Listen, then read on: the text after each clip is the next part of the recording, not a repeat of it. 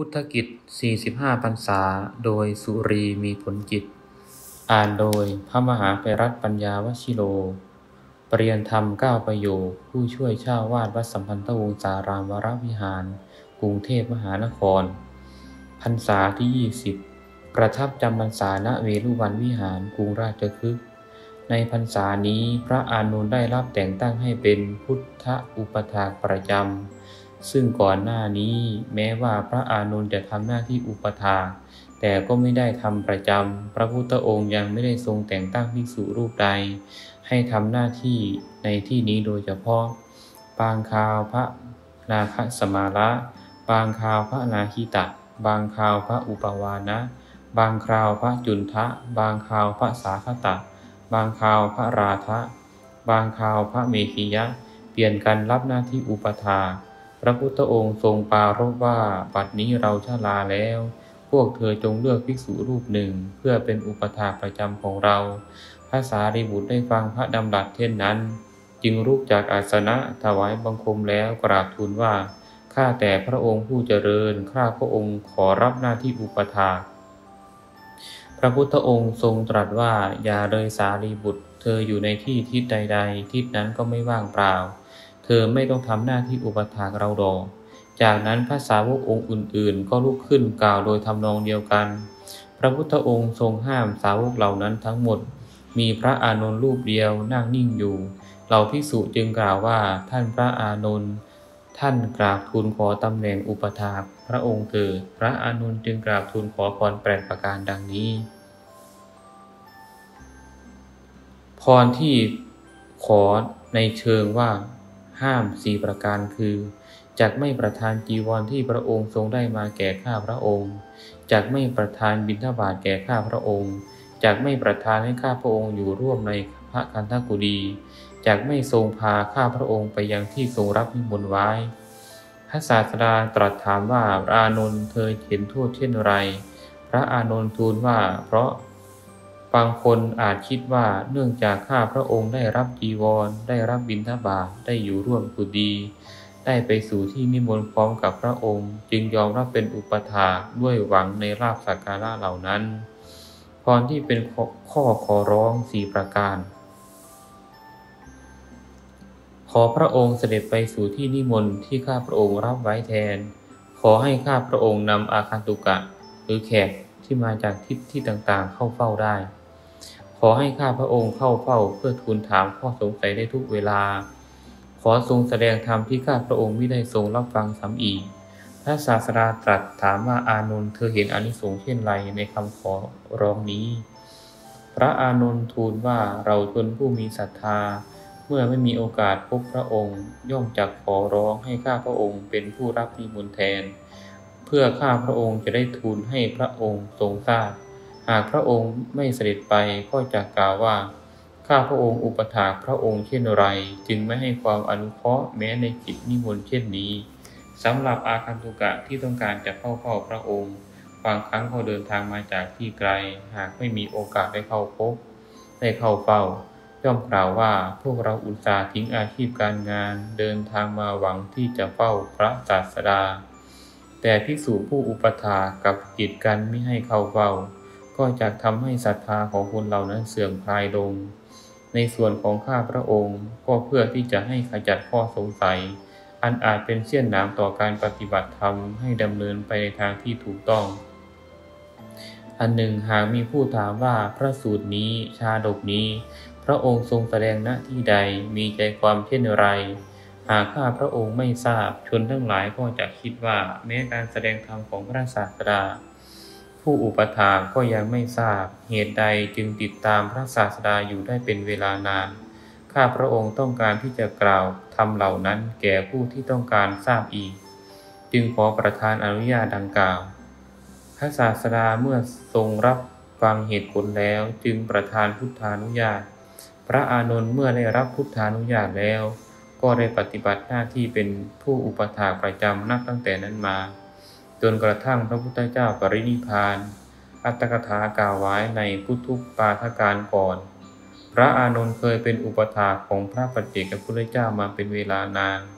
ได้ถวายทานเป็นนิดตั้งความปรารถนาขอเป็นพุทธอุปถาในอนาคต จนกระทั่งไปบังเกิดในสวรรค์ชั้นดุสิตพร้อมกับศาสดาของเราพระองค์นี้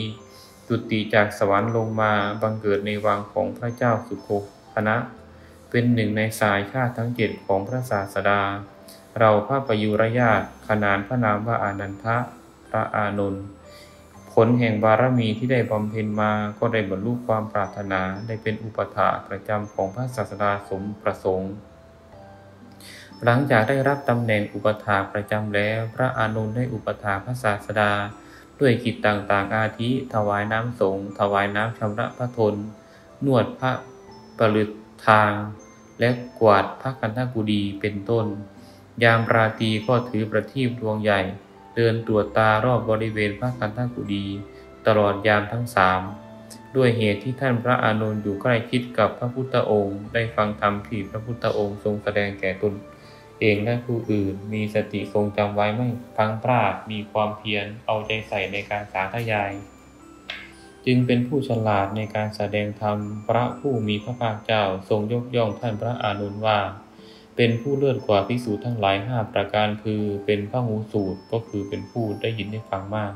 มีสติ มีคติก็คือเป็นเป็นผู้มีคติไปดี คติแปลว่าไป มีความเพียรและเป็นพุทธอุปถา ตรัสว่าดูก่อนภิกษุทั้งหลาย พระอานนท์เป็นผู้ประกอบด้วยอัมภูตธรรมสี่ประการ ธรรมที่น่าอัศจรรย์ภิกษุภิกษุณีอุบาสกอุบาสิกาเมื่อได้เข้าใกล้พระอานนท์แล้วย่อมยินดี ด้วยการที่ได้พบเห็นพระอานนท์ด้วยการที่ได้ฟังธรรมจากพระอานนท์ด้วยธรรมที่พระอานนท์แสดงแล้ว ด้วยการไม่อิ่มในธรรมที่พระอานนท์แสดง ภิกษุทั้งหลายอภูตธรรม น่าอัศจรรย์สี่ประการนี้ มีพร้อมอยู่ในพระอานนท์เพราะเหตุนี้ เมื่อพระบรมศาสดาปรินิพานแล้ว ครั้งพระมหากัสสปะสังคายนาพระธรรมวินัยครั้งแรก เราสงฆ์จึงเลือกพระอานนท์ให้เป็นผู้วิสัชนา พระสุตตันตปิฎกและพระอภิธรรมปิฎกหลังจากออกพรรษาแล้วข้อสันนิษฐาน หลังจากออกพรรษาที่ 19 แล้ว พระพุทธองค์เสด็จกลับกรุงสาวัตถี นางวิสาขาเริ่มสร้างนิคาระมาตุปราศาสตร์ในบุพาราม ทรงเสด็จจาริกต่อแล้วจำพรรษาที่ 20 ณ เวรุวันวิหาร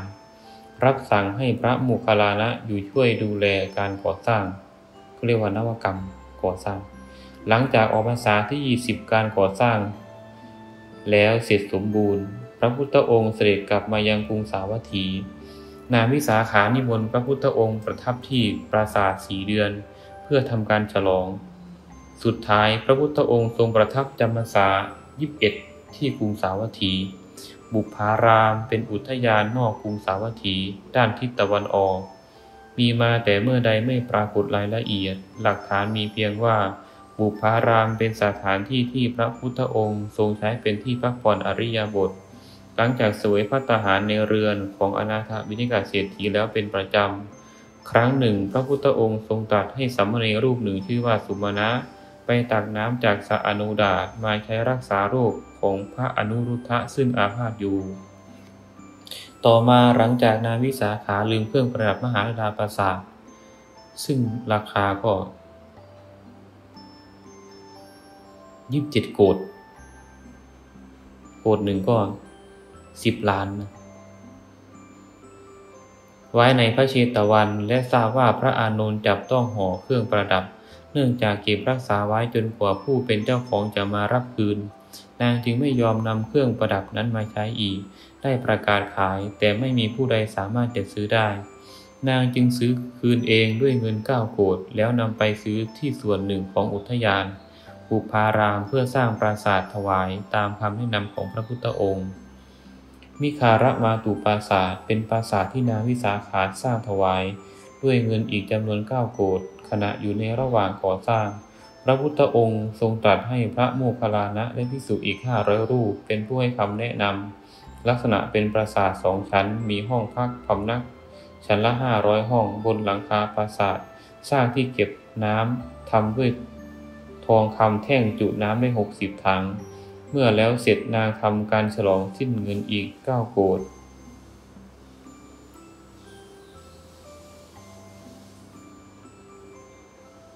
เรื่องนางวิสาขาสร้างวิหารมาตุปราสาทไม่เป็นที่แน่ชัดว่า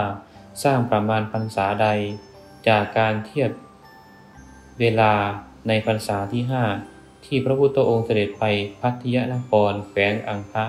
เพื่อโปรดตระกูลของนางให้ได้บรรลุเป็นพระโสดาบัน และโปรดพัทชิหลานชายของเมตกะเศรษฐีให้บรรลุอรหันต์ให้บรรลุอรหันต์นั้น นางก็มีอายุได้เจ็ดขวบ จากนั้นครอบครัวของนาง อันมีพระนันชัยเศรษฐีผู้เป็นบิดา นางสุมนาเทวีมารดา